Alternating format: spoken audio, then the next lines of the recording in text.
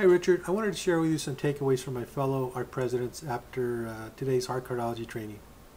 Teresa really connected with everything you covered today. Her biggest aha came when you went over the gauges, and she saw herself at the fuel gauge focus of criticizing mumbling.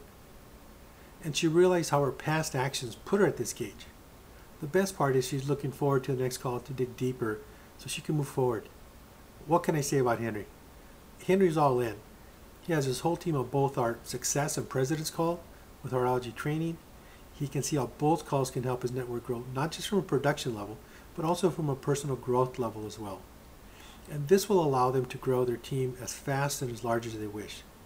They're very excited about Heartology. Never seen anything like this. As for me, uh, this continues to be a learning experience about myself.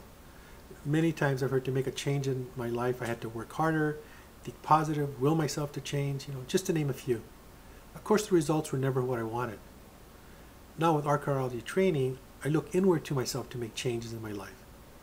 As I have grown, so has my team and my royalties, which I know are a direct result of my growth toward Heartology. The best part is my fellow presidents and team are growing not just with me, but for themselves and their loved ones. So, Richard, thank you so much for this awesome training. Looking forward to our next call. Luis Gutierrez.